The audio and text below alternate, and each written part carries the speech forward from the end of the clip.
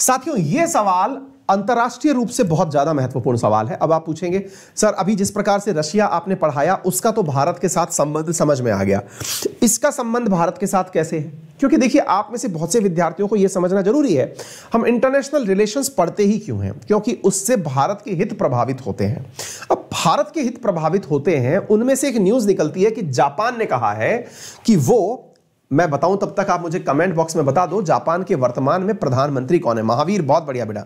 जल्दी से comment box में बताइए, जापान के वर्तमान प्रधानमंत्री कौन है? मैं आपको सवाल पढ़ा रहा हूँ और वो ये है कि जापान के ये जो प्रधानमंत्री जी हैं, इन्होंने शी जिनपिंग और किम जोंग उन इनके प्रभाव में आते हुए कहा है कि हम अपना रक्षा बजट बढ़ाएँगे। किसी दो, बिल्कुल सही जवाब दिया, आमिया। कहने का अर्थ यह है कि किशीदो ने हाल ही में कहा है कि शी जिनपिंग और ये जो किम जोंग उन है, इनके कारण से हमें अपना रक्षा बजट बढ़ाना होगा। आप पूछेंगे, इससे क्या ही फ़र्क पड़ रहा है? कौन सी बड़ी बात है? अगर ऐसा होता भी है, चीन और उत्तर कोरिया के खतरे का अनुमान लगाने के लिए जापान ने अपने रक्षा बजट में 6.75 बिलियन डॉलर का इंक्रीमेंट करने की बात कर ली तो कौन सी बड़ी बात हो गई? आपके लिए तो यह बड़ी बात नहीं है, लेकिन एक ऐसे देश के लिए जिसके संविधान में आर्टिकल नंबर नाइन ये कहता है, क्या? जिसके आर्टिकल नंबर नाइन में यह लिखा हुआ है कि ना तो वो जल सेना, ना वो थल सेना, ना वो एयरफोर्स इनको इतना शक्तिशाली बनाएगा कि किसी के लिए संकट पैदा कर दे। आज वो देश अपनी उस संविधान की शर्त को तोड़ने पर मजबूर क्यों हुआ? यानी कहने का अर्थ यह है कि यह न्यूज़ केवल न्यूज़ नहीं है जनाब। इस न्यूज़ में बहुत कुछ छिपा है। इसमें ऐतिहासिक बातें ऐसी छिपी हुई हैं जिससे कि आपको एक अलग ही एंगल पता चलेगा। तो चलिए यात्रा कराते हैं आपको। जापान के रक्षा बजट के बढ़ने की इतनी ज़्यादा सुर्खियाँ हर अखबार में क्यों बनी? क्यों कहा जा रहा है कि जापान के प्रधानमंत्री ने कहा है कि वो डिफेंस का चीन और नॉर्थ कोरिया को ध्यान में रखते हुए बजट इंक्रीज करेंगे। ये न्यूज़ मायने क्यों रखती है? चलिए थोड़ा सा ऐतिहासिक जानकारी आपको देते हैं। यहाँ पर आपको किसी दो दिखाई पड़ रहे हैं। किसी दो, इन्होंने आकर के हाल ही में कहा है कि ये 6.75 बिलियन डॉलर का इंक्रीमेंट करने वाले यानी कि ऑलरेडी अपने जीडीपी का लगभग एक परसेंट डिफेंस पर खर्च करते हैं। फिर भी इन्होंने और ज़्यादा इसको बढ़ाने की बात करी है। किशिदो ने हाल ही में यह घटना अपने सैनिकों को संबोधित करते हुए करी। अब बड़ा सवाल बनता है, सर क्यों ये न्यूज़ बड़ी न्यूज़ बनती है? मतलब सबसे बड़ी बात तो ये है कि इस न्यूज़ को हम इतना महत्व दे क्यों रहे हैं? हमारे लिए मायने क्यों रखती है? मैं आपको सारी बातें बताता हूँ। देखो बेटा, बात कुछ इस प्रकार से है ना, जापान की जब आप थोड़ी भी हिस्ट्री निकाल के देखते हैं तो जापान आपको पता चलता है कि मैप में इतुसा देश, यानी कि चार छोटे छोटे आइलैंड्स, लिख लेना जिनके नाम मैं बोल रहा हूँ, होकाइडो होन्शु शिकोको, क्यूशु, चार छोटे छोटे आइलैंड से बना हुआ एक देश जिसने एक बार दुनिया की नाक में इतना दम कर दिया था कि एक तरफ़ यूरोपियंस की हालत खराब करने में जहाँ हिटलर लगा हुआ था, वहीं दूसरी तरफ़ एशियंस और एशिया के साथ साथ अमेरिका जैसे देशों की हालत खराब करने में लगा हुआ था जापान। जापान की ताकत इतनी बढ़ गई थी कि इसने खुद ने चीन को तो कब्जे में ले ही रखा था, कोरिया को कब्जे में ले ही रखा था। ये सब, जितना भी आपका जापान के साथ साथ ये जितना भी ताइवान, हांगकांग हांगकांग जितना भी इन सब पर कब्जा किसका था? जापान का। हद तो ये हो गई जनाब कि इसकी बढ़ती हुई शक्ति और एस्पिरेशन का नतीजा ये निकला कि इसने अमेरिका पर धावा बोल दिया। ये बात है वर्ल्ड वॉर टू के समय की। जी हाँ, साथियों 1939 से लेकर के 44 के बीच में जहाँ दुनिया के अंदर एक ऐसा संजोग बन रहा था कि एक जैसी विचारधारा के लोग दुनिया पर कब्जा करने निकल चुके थे उस दौर में, जिस समय पर जापान का कब्जा कोरियन पेनिनसुला पर ऑलरेडी हुआ करता था। देखिए, मैं आपको थोड़ा सा मैप दिखाता हूँ, तब आप इस बात को समझेंगे और इसका ऐतिहासिक महत्व समझेंगे। घटना को जोड़ना आपको मज़ा आ जाएगा। इधर देखिए, साथियों, हमने अपने भारत का मैप देखा। भारत के मैप से हम पूर्व की तरफ़ चले तो हमें चीन दिखाई दिया। चीन के पूर्व में चले तो हमको साउथ कोरिया यानी कोरियन पेनिनसुला और उसके सामने आइलैंड नेशन जापान दिखाई दिया मैं थोड़ा जूम करता हूँ, आप इसको फिर देखिए।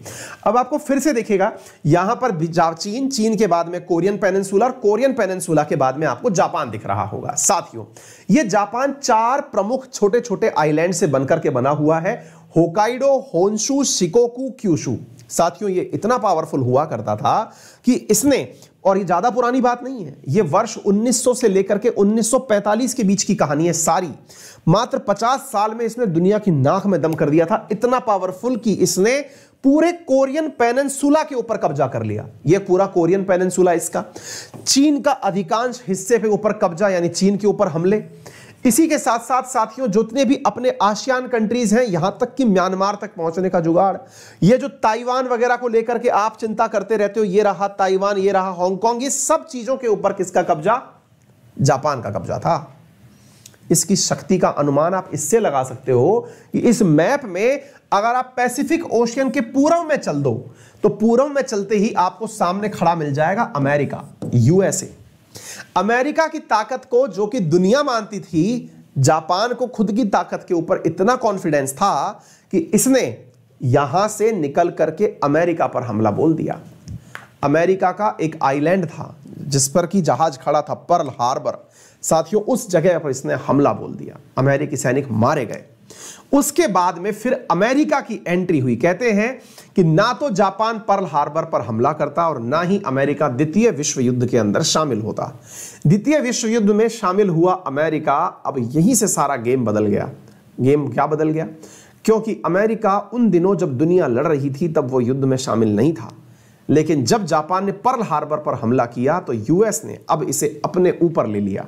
यानी अपनी, अपने ऊपर आँच के रूप में ले लिया और दुनिया को बिना बताए जो उसने परमाणु हथियारों का निर्माण किया था, उनका प्रयोग करने निकल पड़ा। 6 अगस्त 1942 और सॉरी 6 अगस्त 1945 और 9 अगस्त 1945 को 6 और 9 अगस्त केवल दो ही दिन में लगभग तीन लाख लोगों की जापानियों की जान ले ली अमेरिका ने।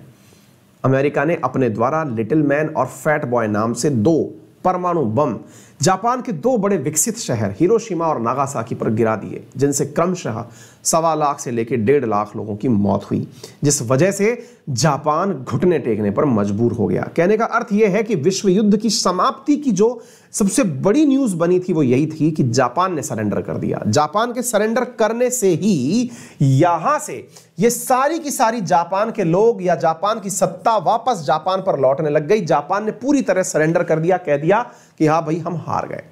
जापान का यह सरेंडर हुआ किसके सामने था? आंसर है अमेरिका के सामने हुआ था। क्योंकि अमेरिका ने दुनिया को अपने इन दो बमों से चौंका दिया था, किसी को पता ही नहीं था कि ऐसा भी कोई हथियार होता है जिसके उपयोग मात्र से, यानी केवल एक बार बॉम्ब गिरा दिया, मामला साफ़। ऐसा बॉम्ब किसी को नहीं पता था। यही से इस बॉम्ब के कारण ही शीत युद्ध का शुरुआत हुआ। हथियारों की होड़ मच गई। आज अमेरिका और रूस इसी कारण से दुश्मन भी हैं एक दूसरे के कि दोनों ने एक दूसरे को इन्फॉर्म ही नहीं किया कि हम ऐसा कोई बॉम्ब बना रहे हैं। एनीवे anyway, फ़िलहाल तो हम जापान पर केंद्रित करते हैं। जापान जब सरेंडर हुआ तो अमेरिका एकदम दुनिया के सामने मसीहा बन के आ गया। दुनिया को हथियारों से डराने वाला अमेरिका प्रकट हो गया। अमेरिका ने जापान के साथ में एक व्यवहारिक डील करी और यह था कि भैया अब तुम हार चुके हो। अब अपने लिए एक संविधान का निर्माण करो। यहाँ के राजा को हटा दिया गया और यहाँ के राजा को हटा करके यहाँ पर लोकतांत्रिक सरकार की व्यवस्था की जाए। यानी अमेरिका ने कहा कि जापान अब किसी भी प्रकार से दुनिया के ऊपर हमला ना करे। इसके लिए इस हारे हुए कंट्री से समझौते करवाए गए। साथियों, हारे हुए कंट्री से जब समझौते हुए तो जापान का नया संविधान बनाया गया। संविधान के अंदर आर्टिकल नंबर नौ डाला गया और उस आर्टिकल नंबर नौ में एक लाइन लिखवाई गई और वो ये है कि जापान कभी भी अपने आप को इतना ताकतवर नहीं बनाएगा कि वो दुनिया के किसी भी देश के लिए थ्रेट बन जाए, यानी कि किसी देश के लिए दुश्मनी के रूप में या फिर दुनिया के लिए एक प्रकार का खतरा बन जाए। अब ये इनके संविधान के अंदर ही लाइन डलवा दी गई। जिसमें यह साफ़ रूप से मेंशन था कि जापान अपनी अलग अलग सेनाओं का निर्माण नहीं करेगा। जापान दुनिया के सामने ऐसी कोई भी शक्ति प्रदर्शन नहीं करेगा जिसके चलते हुए दुनिया को वही दिन दोबारा देखने पड़े। तो फिर क्या हुआ? तो जनाब फिर हुआ कुछ और। हुआ ये कि जापान इस बात को मानने पर एग्री कर गया। लेकिन जापान ने साफ़ कहा कि देखो भाई, बात सिंपल है। जब मैंने इन देशों पर शासन किया है तो ये लोग बदला लेने मेरे साथ दोबारा आएँगे। जब दोबारा बदला लेने आएँगे तो मेरी रखवाली कौन करेगा? इस रखवाली की गारंटी दी खुद अमेरिका ने। अमेरिका ने कहा कि अब यहाँ से आगे, अगर तुम्हारे ऊपर किसी ने भी हमला किया तो वो हमला मुझ पर माना जाएगा। और इन दोनों के बीच में इस प्रकार का टाई अप हुआ। साथियों, होने के लिए तो यह एक बहुत एम्बेसिंग ट्रीटी थी। यानी जापान ने सरेंडर किया, लोग मरवाए और उस लोगों के मरवाने के बावजूद अमेरिका जापान में अपना एयरबेस मिलिट्री बेस सब कुछ बना के बैठ गया। आज दुनिया में अगर अमेरिका के बाहर अमेरिका का सबसे बड़ा जहाँ पर सेना निवास करती है या जहाँ पर एयरफोर्स बेस है या फिर सेना मिलिट्री बेस है, वो जापान में ही है। आज अमेरिका की अधिकता मतलब जापान कह रहा हूँ ना, अमेरिका के बाद सेकंड लार्जेस्ट सेना यहीं पर रहती है। लाखों की संख्या में अमेरिकन यहाँ रहते हैं। तो फिर क्या हुआ? अब साहब, बात यह थी कि जापानियों ने इस बात को देखिए, एक कहावत है, जो व्यक्ति प्लेसिंग इन डिस्गाइज ढूंढता है, यानी कि बुरे समय में भी अच्छा समय ढूंढ लेता है, वो जीवन में बहुत आगे जाता है। जापान ने भी ऐसा ही किया। क्योंकि जापान के ऊपर इन दिनों हमला हुआ था, चाहता तो ये इस अवसाद में रह सकता था, जिस प्रकार से जर्मनी रहा था। फ़र्स्ट वर्ल्ड वॉर में हारने के बाद से सेकेंड वर्ल्ड वॉर के दौरान जर्मनी ने केवल बदले की कार्यवाही में काम किया। जापान ने वो विचारधारा ही बदल दी। इसने कहा कि अब हमें टेक्नोलॉजी पे काम करना है। साथियों, आपको जान के आश्चर्य होगा कि मात्र 15 साल के भीतर भीतर 1960 तक आते आते जापान दुनिया के अंदर एक उभरती हुई अर्थव्यवस्था के रूप में ऐसा निकला कि अमेरिका खुद इससे डरने लग गया। हालात यह था कि जापानियों ने ऐसी ऐसी टेक्नोलॉजीज़ का विकास कर लिया था, जो कि रक्षा में तो काम नहीं कर रही थी, क्योंकि रक्षा के नाम पर तो इन्होंने घर में चौकीदार बिठा ही लिया था, और अब पूरी जनता और पूरे की पूरे फंड को इन्होंने निर्माण में लगा दिया और वो किसके निर्माण में था? टेक्नोलॉजी के निर्माण में था। साथियों, आपको जान के आश्चर्य होगा। इन्होंने कई प्रोडक्ट्स तो ऐसे बना दिए जिससे कि अमेरिकियों के पास बेरोजगारी आने लग गई। जापान की मुद्रा येन जो थी, उस येन से अमेरिका घबराने लग गया। अमेरिका ने जानबूझकर जापान से कहा कि अपनी मुद्रा को मज़बूत करो। मज़बूत करने से मतलब है कि डॉलर के मुकाबले येन का जो भाव है वो इतना कम मत रखो, बढ़ाओ इसे, क्योंकि तुम्हारे येन के सस्ते होने के कारण, जापान के कारण अमेरिका का व्यापार प्रभावित हो रहा है। अमेरिका घबराने लग गया था जापान की तरक्की से। आज जब आप दुनिया का मैप उठाते हैं और जब पढ़ते हैं जापान के बारे में तो आप सबसे बड़ी बात क्या पढ़ते हैं? कि जापान दुनिया का तीसरा सबसे ज़्यादा पैसे वाला देश है, जिसकी जीडीपी सबसे ज़्यादा है, दुनिया की तीसरी सबसे सबसे ज़्यादा जीडीपी वाला देश है after US China and Japan निकल के आता है। ये कैसे हुआ? जब इसने पूरा डिफेंस पर से पैसा हटा लिया कि नहीं खर्च कर रहे लेकिन अभी क्या हुआ है? अभी ये न्यूज़ आपके लिए क्यों महत्वपूर्ण हो जाती है? फिर आप पूछेंगे, सर तो ये तो हमारे साथ मालाबार एक्सरसाइज भी करता आया है। सर, ये तो और भी बहुत सारे युद्ध अभ्यास भारत के साथ करता ही है। जापान की सेना तो होती ही है। जी हाँ 1961 के बाद में समीकरण बदलने लगे। अमेरिका में जापान का विरोध होने लगा। ध्यान से सुनिएगा। बहुत ही ट्विस्ट और इंटरेस्टिंग स्टोरी है अगर आप इसे सुनेंगे, आनंद आ जाएगा। जिस जापान की रक्षा के लिए अमेरिका खुद यहाँ बैठा हुआ था, अपने पैसे खर्च कर रहा था, अपनी सेना को खुद से पैसा खर्च करके जापान को दबा के रखा हुआ था, अमेरिका में विरोध होना शुरू हुआ। किसका? जापान का। बोले, तुम जिसको दबा के बैठे हो, वो इतना तेज़ी से पैसे कमाते हुए ऊपर आ रहा है। इतना तेज़ी से पैसे कमाते हुए आ रहा है कि अमेरिकन की नौकरी जा रही है, जापानी पैसे वाले होते जा रहे हैं। क्यों? क्योंकि तुम तो अपना पूरा पैसा डिफेंस में खर्च कर रहे हो। अमेरिका की जनता के द्वारा बिठाया गया यही प्रेशर धीरे धीरे जापान को मोहलत देने तक चला गया। मोहलत किस बात की? जापानियों से कहा गया कि नहीं नहीं यार, हम इतनी भी सुरक्षा तुम्हारी नहीं करेंगे। तुम अपने लिए छोटी मोटी सेना बना लो, लेकिन हमें बता के रखना। बोले, ठीक है सर, जैसी आपकी इच्छा, क्योंकि हमको अपनी टेक्नोलॉजी पर पूर्ण विश्वास है। तो मेरे प्यारे साथियों, जापानियों ने अपने लिए सेना का निर्माण उसी उन्नीस सौ इकसठ के बाद धीरे धीरे धीरे धीरे करना शुरू कर दिया। आज जापान सैन्य मामले में भी निकलते हुए आगे आ रहा है। जापान ने खुद से खुद पर एक रेस्ट्रिक्शन लगा लिया कि जितनी भी जीडीपी रहेगी, उसके एक परसेंट से ज़्यादा, यानी मान लीजिए सौ रुपए उसकी जीडीपी की वैल्यू है तो एक रुपया सेना पर खर्च करेगा। लेकिन जापान ने पहली बार दुनिया को चौंका दिया है। क्या? यही तो न्यूज़ पढ़ा रहा था मैं आपको। यही तो मैंने इतनी देर से कहा था कि जापान ने 6.75 billion dollar additional to that one percent of their GDP उसमें ऐड कर दिया है। अगर ऐसा होता है तो यह अपने आप में यह समझाने के लिए पर्याप्त है। क्या है? आइए मैं आपको इधर दिखाता हूँ। मेरे प्यारे साथियों, अगर हम जापान की जीडीपी के बारे में चर्चा करते हैं तो जापान की जीडीपी साथियों, यहाँ पर है 5.39 ट्रिलियन डॉलर साथियों, ये नॉमिनल जीडीपी है। फाइव ट्रिलियन इकोनॉमी इंडिया की जीडीपी कितनी है, अगर आपको पता है तो हम लोग फाइव ट्रिलियन होने के सपने देखते हैं। अभी हम थ्री ट्रिलियन के आसपास ही चल रहे हैं। यानी कि इंडिया की जीडीपी से जस्ट डबल जीडीपी जो है, वो इस समय जापान की है। जहाँ पॉपुलेशन इसके भारत के मुकाबले जाने कौन से नंबर पर आती होगी यह आप खुद अंदाज़ा लगा सकते हैं। इतनी कम पॉपुलेशन पर इतनी ज़बरदस्त जीडीपी अब आप विचार करिए, इसने अपना इसका टेन परसेंट मतलब वन परसेंट यानी कि फाइव थ्री नाइन है तो समझ लीजिए कि ओनली फाइव बिलियन और उस फाइव बिलियन में सिक्स बिलियन और जोड़ दिया, यानी कि जस्ट डबल कर दिया टारगेट ये टारगेट जस्ट डबल करते ही बाइडेन का बयान तो आना ही था। बाइडेन से भी पूछा गया, ओह महाराज, ये क्या हो रहा है? आपने जिसको छूट दी, अब तो अब आप देखें साथियों तो भाई साहब, ये जनाब तो आकर के उसमें भी बैठ गए। क्या कहते हैं उसको अपने? बकायदा उसको चलाया इन्होंने, मोदी जी की तरह अपने। टैंकर वैंकर चला के दिखा रहे हैं ये। कहने का मतलब ये है कि क्या जापान वापस से उभरता हुआ आ रहा है? दुनिया के लिए अपने आप में एक चुनौती है, यदि जापान और जापानी मानसिकता आ गई तो जापानी मानसिकता दुनिया को वापस उन्हीं पुराने दिनों की याद दिलाती है, जिस समय जापानी बहुत क्रूर माने जाते थे। कहते हैं साथियों कि क्रूरता के मामले में इनकी क्रूरता से दूर दूर तक लोगों में भय हुआ करता था। ये बहुत ही क्रूअल प्रवृत्ति के नेचर हुआ करते थे। यानी इन्होंने अपनी नेचर को एकदम बदला था। अब जापान वापस कह रहा है कि हमने अपना डिफेंस बजट बढ़ा दिया है। क्यों?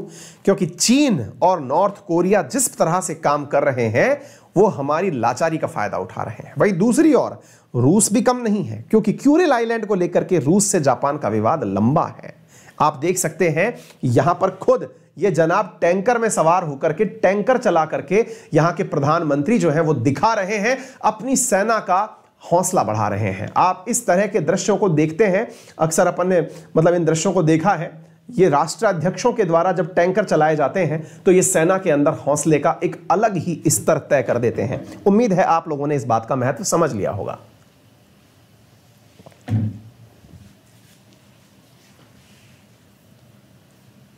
बाइडेन व डर गया। बिल्कुल सही कह रहे हैं आप। ठीक है? चलिए, हो गया। उम्मीद है अब सभी साथियों को प्रॉपर तरीके से बातें समझ में आ गई होंगी। अब अपने लिए कुछ क्वेश्चंस लिख लीजिए। ये तो आपने कर ही लिया, जापान का रक्षा बजट बढ़ने की न्यूज़ मैंने बता दी और इससे दुनिया के अंदर क्या तहलका मचा वो मैंने सारी बातें आपको बता दी। अब आपको अपने अभ्यास के लिए कुछ प्रश्न लिख लेने चाहिए। प्रश्न आप लिखें भारत और जापान के संबंधों के बारे में। आप ढूंढें कि भारत और जापान के बीच में कौन कौन से एक्सरसाइजेज होते हैं। युद्ध अभ्यास कौन से होते हैं? मालाबार एक्सरसाइज क्या है? मालाबार एक्सरसाइज की शुरुआत कब से हुई? मालाबार एक्सरसाइज में ऑस्ट्रेलिया किस दिन मिला? इसके साथ साथ क्वाड की स्थापना कब हुई? ये सब चीज़ें मैंने पढ़ा रखी हैं। एक एक चीज़ मैंने डिटेल में पढ़ा रखी है, बस आपको अपने पुराने नोट्स खंगाल खंगालने और नहीं मिलते तो गूगल पर तुरंत बोलिएगा, हे गूगल, और आंसर शुरू हो जाएगा। गूगल हिंदी भी समझता है, गूगल अंग्रेज़ी भी समझता है, बांग्ला भी समझता है। गूगल करिए और आंसर तैयार करिए। क्वाड की अवधारणा शिंजो आबे ने कब दी थी? क्वाड 2.0 की पहली बैठक कब हुई? क्वाड की, अब मैंने रिसेंटली आपको एक न्यूज़ पढ़ाई थी, क्वाड के चारों देशों ने मिलकर के निर्णय लिया है कि कौन कौन से देश के अंदर कब कब मीटिंग होनी है। जापान चूँकि इसका इनिशियल करता है, यानी जापान ने ही क्वाड की अवधारणा का शुभारंभ किया है, इसलिए आप लोगों को पता होना चाहिए कि जापान के साथ में, या फिर मतलब क्वाड की बैठकें कब कब और कहाँ कहाँ होने वाली हैं। इसके साथ साथ आपको यह भी पता होना चाहिए कि जापान के अंदर प्रमुख शहर कौन से हैं जो कि उद्योग धंधों के लिए जाने जाते हैं? उन शहरों के बारे में प्रॉपर जानकारी आप निकाल करके रख सकते हैं। पैसिफिक रिंग ऑफ़ फायर क्या है? दुनिया के अंदर अधिकांश भूकंप उसी जोन में क्यों आते हैं? क्यों आपके सामने वो जो पैसिफिक रिंग ऑफ़ फायर है, जहाँ पर सबसे ज़्यादा भूकंप के साथ साथ ज्वालामुखी फटते हैं, उसका जापान कनेक्शन क्या है? जापान और रशिया के बीच में क्यूरिल आइलैंड विवाद क्या है? नॉर्थ कोरिया और जापान के बीच में जो स्ट्रेट है, वो उसका नाम क्या है? कोरिया को कोरियन पेनिनसुला क्यों कहा जाता है? ये तमाम बातें आप लोगों को पहचाननी है। और अगर आपको हिस्ट्री पहचाननी है तो हिस्ट्री के लिए आप एक तथ्य मेरे द्वारा बताया जा रहा है। उसे सर्च करें और वो है कामा गाटा कामा गाटा मारू प्रकरण, जिसके तहत भारत से चल करके एक एक पानी का जहाज़ कनाडा जाने के लिए था। वो कहाँ रुका था, जिसके चलते हुए भारत में इतना बड़ा गदर आंदोलन हुआ? ये सारी बातें आपको जापान के रेफरेंस में खुद से आज सर्च करनी चाहिए। कामागाटो मारू प्रकरण भी आज सर्च करिएगा। इतिहास का महत्वपूर्ण पॉइंट है। ये मैंने आपको होमवर्क दे दिया है। ठीक है? चलिए, आगे चलते हैं कि यह पीडीएफ आपको आसानी से क्लास खत्म होने के बाद में मिल जाती है। तो पीडीएफ की किसी भी प्रकार की चिंता आप ना करें। चर्चा करते हैं हमारे कोर्सेज के बारे में तो स्टैटिक जीके जो कि एसएससी में मेरे द्वारा पढ़ाया जाता है, जिसमें हिस्ट्री जोग्राफी पॉलिटी इकोनॉमी होती है, यहाँ इंडियन पॉलिटी शुरू होने जा रही है इस बुधवार से, यानी कि ये जो अभी कमिंग जो वेडनेसडे आ रहा है इससे। यदि आप में से कोई भी विद्यार्थी हमारे इस बैच को ज्वाइन करना चाहता है तो वो सब्सक्रिप्शन इंडियन पॉलिटी के हिसाब से ना लेते हुए ये समझ के ले कि उसको मेरे द्वारा पढ़ाई जाने वाली जोग्राफी पॉलिटी हिस्ट्री इकोनॉमी सब मिलने वाली है साथ में। जो मैथ्स रीजनिंग इंग्लिश की क्लासेस हैं, वो भी एक ही सब्सक्रिप्शन में उसे प्राप्त हो जाती हैं। तो use my referral code Ankit ten to avail my new batch of Indian polity जिसमें हम एकदम फाउंडेशन लेवल से आपको सिखाएँगे इंडियन पॉलिटी के सारे इफ़ एंड बर्ड्स छोटी छोटी बातें आपको महत्वपूर्ण रूप से सिखाई जाएँगी। हमारे द्वारा रोज़ाना सुबह सवा ग्यारह बजे आप लोगों के लिए स्पेशल क्लास ली जाती है अन अकेडमी पर। आप उसमें हमारे साथ ज्वाइन कर सकते हैं। आज की स्पेशल क्लास में, जो कि ग्यारह बज के पंद्रह मिनट पर है आप लोगों के साथ, अफ्रीका कॉन्टिनेंट महाद्वीप डिस्कस किया जाएगा, चर्चा करेंगे। महाद्वीप के बारे में, अफ्रीका के बारे में, क्या है अफ्रीका की स्टोरी क्या है अफ्रीका की पॉलिटिकल मैप की जानकारी, क्या है उसकी फ़िज़िकल मैप की जानकारी, तमाम बातें आज के सेशन में आपको बताई जाएँगी। क्लास समाप्त होने पर आपको इस रेफरल कोड इस जगह पर आपको हमारी क्लास की पीडीएफ भी प्राप्त हो जाती है। या विद्यार्थी अन अकेडमी पर मेरे साथ जुड़ करके पढ़ना चाहता है तो अन अकेडमी पर मेरा रेफरल कोड है अंकित टेन, जिसका उपयोग करके टेन डिस्काउंट प्राप्त करके वो पढ़ सकता है। यदि आप अन अकेडमी पर पढ़ते हैं तो आपको अन अकेडमी के जितने भी एडुकेटर्स हैं, उन सबके लाइव क्लासेस टेस्ट सीरीज़ उनके डाउट सेशंस ये सब प्राप्त होते हैं। किसी भी एडुकेटर की क्लासेस आप एक बार उस कैटेगरी में सब्सक्रिप्शन लेने के बाद देख सकते हैं। पूरी तरह से लाइव जितनी भी क्लासेस हैं, वो देख सकते हैं रिकॉर्डेड क्लासेस देख सकते हैं टेस्ट पीडीएफ डाउनलोड कर सकते हैं टेस्ट सीरीज़ दे सकते हैं, पूरी तरह से गाइडेंस आप यहाँ पर प्राप्त कर सकते हैं। ये सारी चीज़ें आपको यहाँ पर उपलब्ध होती हैं। करना क्या होता है? गूगल प्ले स्टोर से अन अकेडमी लर्निंग ऐप को अपने मोबाइल में इंस्टॉल करिए। वहाँ से आप जिस भी कैटेगरी में चाहें, चाहे एसएससी हो यूपीएससी हो, उस कैटेगरी में अपना कोर्स सेलेक्ट करिए। जो कोर्स आपको सेलेक्ट करना है, उसे रेफरल कोड अंकित टेन के साथ में प्राइस देने से पहले ट्रीट करिए, ताकि आपको दस प्रतिशत का डिस्काउंट उसके अंदर इमीडिएटली प्राप्त हो जाए। उसके बाद में पेमेंट करिए और क्लासेस पढ़ना शुरू करिए। थैंक यू सो मच अपना ख्याल रखें, बड़ों का सम्मान करें, छोटों को प्यार दें। अपना व्यक्तित्व इस प्रकार से विकसित